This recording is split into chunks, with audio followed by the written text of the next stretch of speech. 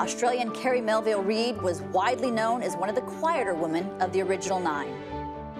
But with a 17 year professional career and a deep passion for tennis, Kerry cast her nerves aside when she signed her $1 contract with the Virginia Slims Tour. Well, it really, I hadn't really thought about it too much until that tournament in Los Angeles where we were playing, and the prize money was eight to one for the men and the women. And that was when, you know, everything evolved and the girls kind of got together and decided it was something, you know, we really should do something about.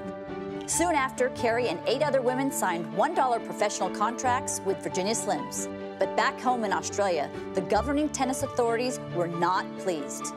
They banned us from playing because we'd turned professional, you know, by signing the dollar bill, you know, turning pro. We were banned for that whole season in Australia. We weren't allowed to play. You know, that was like a big season, a big thing to us in our home, home country